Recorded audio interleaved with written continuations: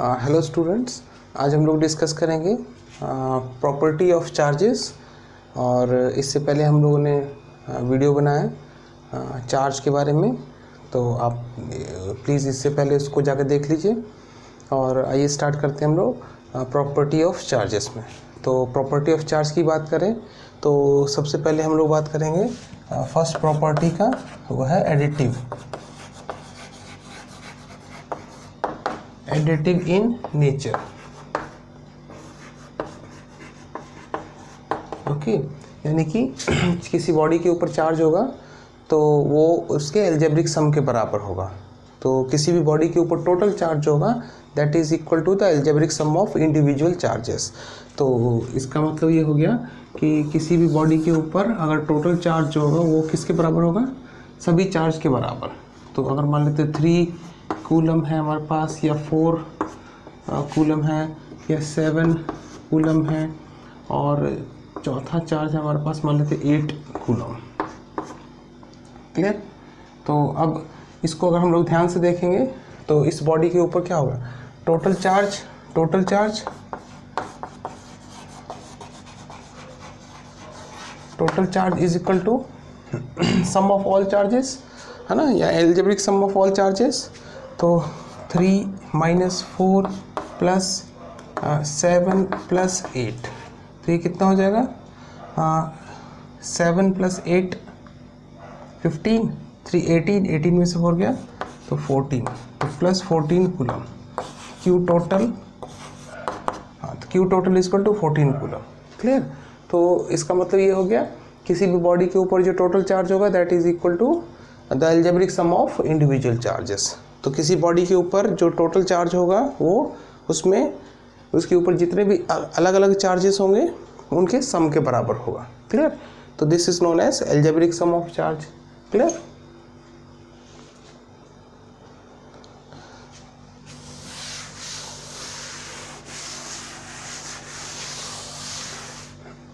okay second property हमारे पास second property है quantization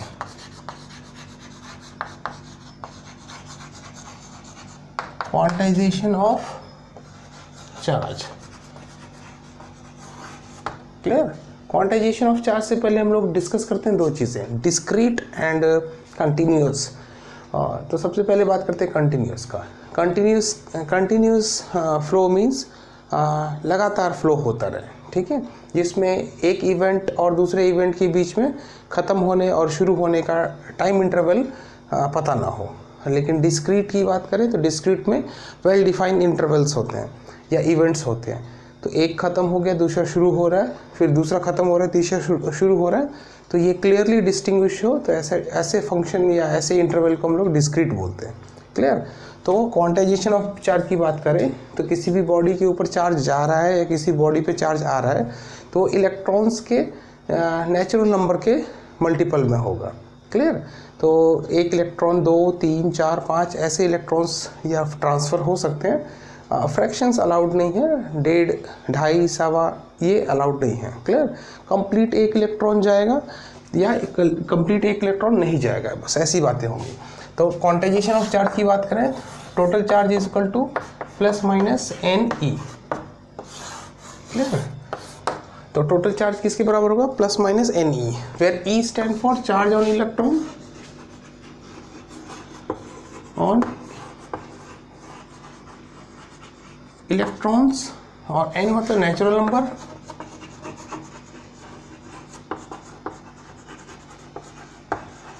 and q stand for total charge.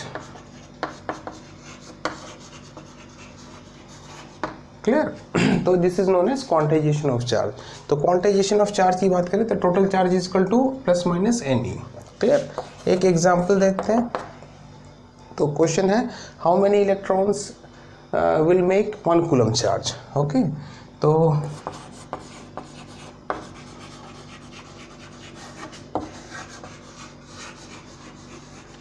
electrons will make one coulomb charge तो इसको अगर हम लोग देखें ऐसे तो total charge is equal to one coulomb और N is equal to we have to find है ना? इसमें नंबर ऑफ़ इलेक्ट्रॉन कितने इलेक्ट्रॉन है वो खोजना है आ, किसके लिए?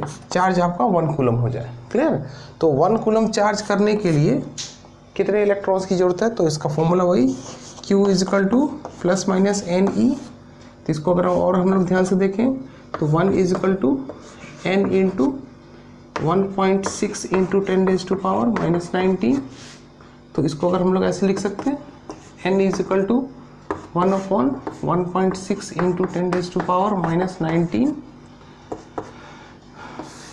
इसको और देखें ध्यान से तो hundred upon sixteen into ten days to power eighteen ये ऊपर चला गया तो माइनस नाइनटीन प्लस नाइनटीन हो गया। हाँ। और ये डेसिमल रिलेज किए तो हंड्रेड क्लियर तो ये हो जाएगा six point two five into ten days to power eighteen clear तो एक कूलम इलेक्ट्रॉन्स एक कूलम चार्ज के लिए आ, इतने इलेक्ट्रॉन्स का कलेक्शन होना ज़रूरी है। क्लियर तो this is known as quantization of charge clear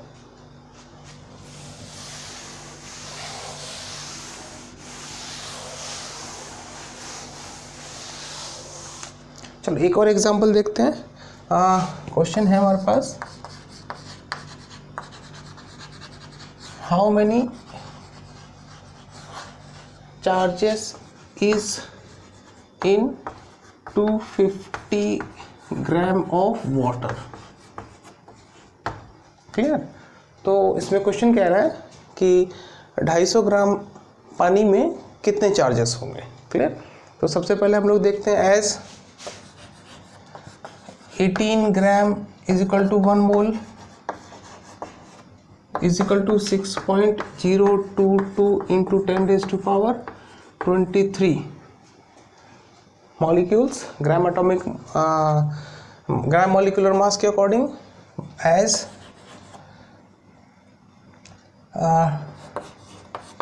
total charge is equal to two fifty divided by eighty total number of moles हो गए इनटू एक मोल में कितना इलेक्ट्रॉन्स होता है या मॉलिक्यूल्स है? तो 6.22 point two two into ten raise to power twenty three clear okay तो अब ये तो हो गया कितने हमारे पास? मॉलिक्यूल्स हो गए 250 ग्राम वाटर में. क्लियर तब हम लोग जानते हैं एज एक मॉलिक्यूल के अंदर कितने इलेक्ट्रॉन्स होते हैं? H2O में. H2O में clear equal to ten electrons, है ना? दो हाइड्रोजन के और आठ ऑक्सीजन के क्लियर सो टोटल चार्ज है ना? पार्टिकल्स चार्ज पार्टिकल्स क्या लें? Total electrons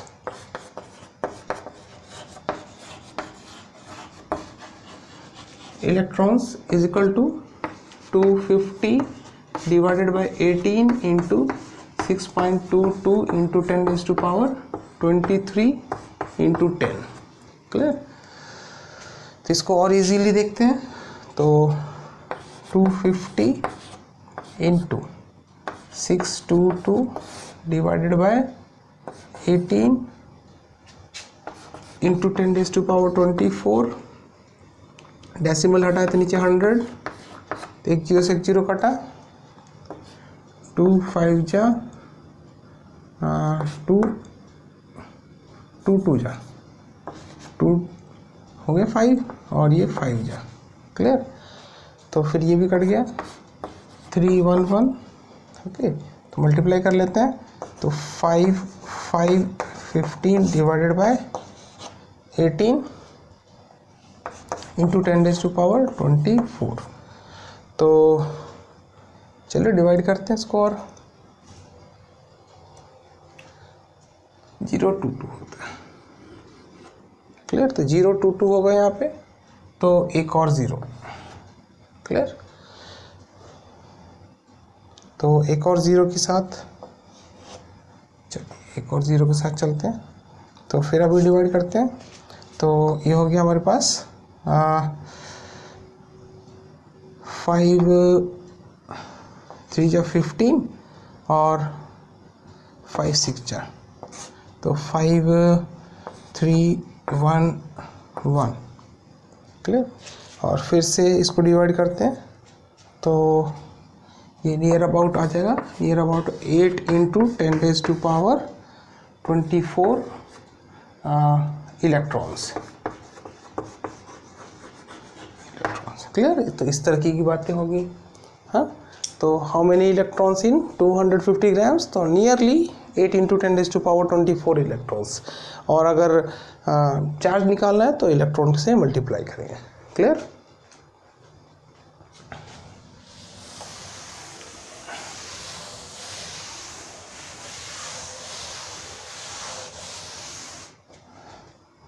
ओके okay, अब बात करते हैं हम लोग कंडक्टर का और इंसुलेटर का क्लियर तो बेसिकली कंडक्टर क्या होता है और इंसुलेटर क्या होता है, उसकी डिस्कस करें।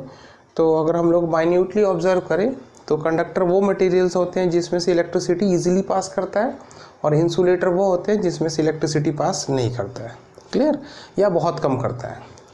तो कंडक्टर को अगर हम लोग एटॉमिक लेवल पे देखें तो कंडक्टर के आउटर मोस्ट ऑर्बिट में फ्री इलेक्ट्रॉन्स अवेलेबल होते हैं। और ये फ्री इलेक्ट्रॉन्स जो है वो कंडक्टर के सरफेस पे फ्लोट करते रहते हैं। क्लियर तो कंडक्टर में फ्री इलेक्ट्रॉन्स की अवेलेबिलिटी की वजह से जब इसको हम लोग बैटरी के साथ एडजस्ट करते हैं तो पॉजिटिव टर्मिनल की तरफ़ इलेक्ट्रॉन्स जो है वो मूव करते रहते हैं। तो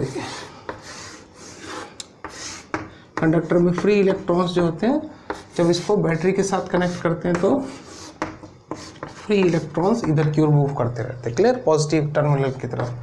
तो ये कंडक्टर की तरह बिहेव करते हैं। लेकिन इंसुलेटर में ये चीज़ अवेलेबल ही नहीं होता ठीक है? फ्री इलेक्ट्रॉन्स ही नहीं होता है तो फिर ये कंडक्शन होता ही नहीं है। तो इसीलिए कंडक्टर वो मटेरियल्स हैं जिसमें इलेक्ट्रिसिटी ईजिली पास करता है और इंसुलेटर वो मटेरियल है जिसमें ऑलमोस्ट ज़ीरो इलेक्ट्रिसिटी फ्लो करता है। क्लियर चलिए। तो कंडक्टर का एग्जांपल मेटल्स है ना? इंसुलेटर का एग्जांपल हो गया आपका आ, plastic wood paper etcetera clear चलिए।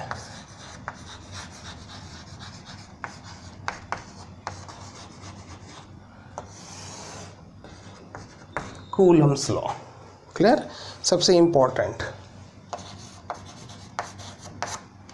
अब बात करते हैं कूलम्स लॉ का। ओके देखिए प्रॉपर्टी ऑफ़ चार्ज में हम लोगों ने पढ़ा है। Same charge repel each other opposite charge attract each other clear तो ये फोर्स ऑफ़ अट्रैक्शन और रिपल्शन कितना स्ट्रॉन्ग है? That is decided by Coulomb's law clear तो दो चार्ज आपस में एक दूसरे को अट्रैक्ट भी करते हैं रिपेल भी करते हैं और अट्रैक्शन और रिपल्शन कितना स्ट्रॉन्ग है या उसकी इंटेंसिटी कितनी स्ट्रॉन्ग है, उसको बतलाने के लिए कूलम्स लॉ का इस्तेमाल करते हैं। क्लियर तो कूलम्स लॉ क्या कहता है कि let us suppose we have two charges Q1 and Q2 and they are separated by distance R. Clear तो अगर इन दोनों को देखें ध्यान से तो फोर्स ऑफ़ एट्रैक्शन और repulsion directly proportional to charges जितना ज़्यादा चार्ज होगा, उतना ज़्यादा फोर्स ऑफ़ एक्सपीरियंस होगा, है ना? और F directly proportional to one by R square clear जितना ज़्यादा डिस्टेंस होगा, उतना ज़्यादा फोर्स कम हो जाएगा।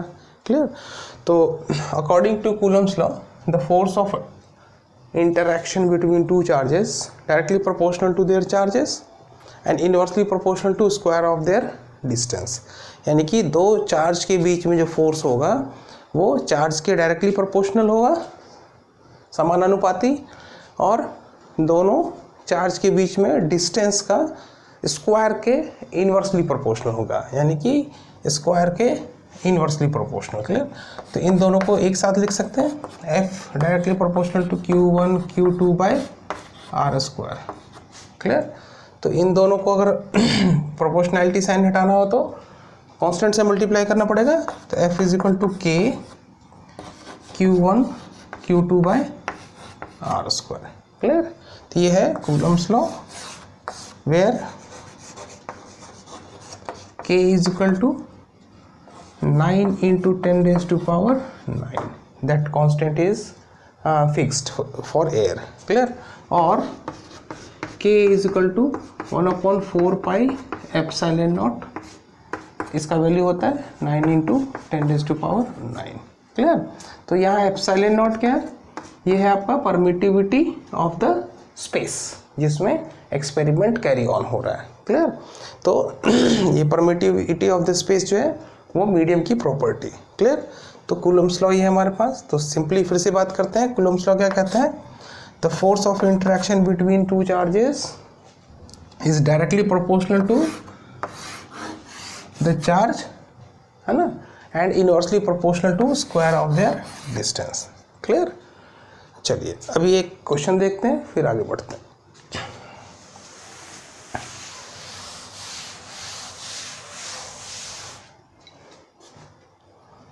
Okay find the force of force between two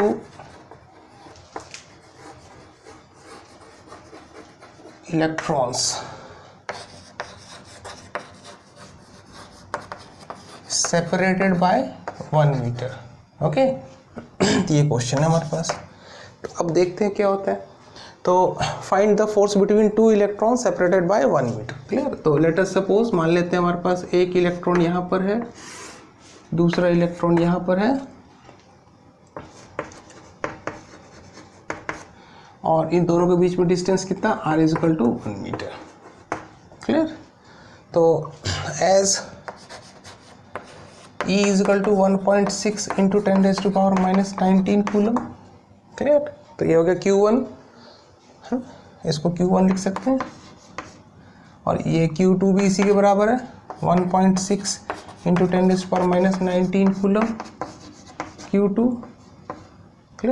R is equal to one metre तो as F is equal to K Q one Q two by R square तो K का वैल्यू कितना है? Nine into ten raise to power nine one point six into ten raise to power minus nineteen into one point six into ten raise to power minus nineteen divided by one का square clear ये हो गया charge Q one Q two अब इसको multiply कर लेते हैं। तो ये nine into sixteen into sixteen into ten days to power ये डेसिमल हटा तो twenty minus twenty minus twenty तो माइनस फोर्टी सिक्सटीन सिक्सटीन जा two fifty six into ten days to power minus forty तो मल्टीप्लाई करते हैं nine से तो फोर ज़ीरो फाइव तो ये हो गया into ten days to power यहाँ पर डेसिमल तो एक, दो, तीन, यहाँ लगा लेते हैं। तो minus thirty seven newton clear तो ये हो गया हमारे पास फोर्स तो F is equal to two point three zero four into ten days to power minus thirty seven newton clear तो ये है आपके एग्जाम्पल्स ट्राई करिए क्वेश्चंस और प्रैक्टिस करिए. Thank you for watching